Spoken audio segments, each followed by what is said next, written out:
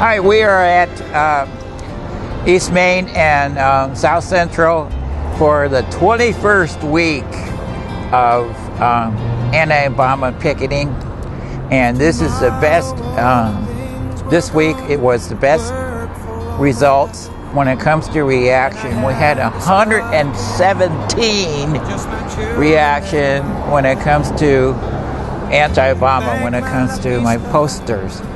So Chick fil A was big. This is going to be even bigger. And Oregon is definitely going red. I can safely say that with those kind of numbers 117 to 12. That is more than a 10 to 1 ratio. I don't care what. Um, uh, when it comes to other places, and it's not enough to overcome that.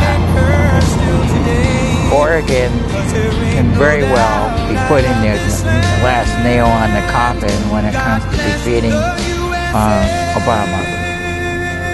And that's the way it is.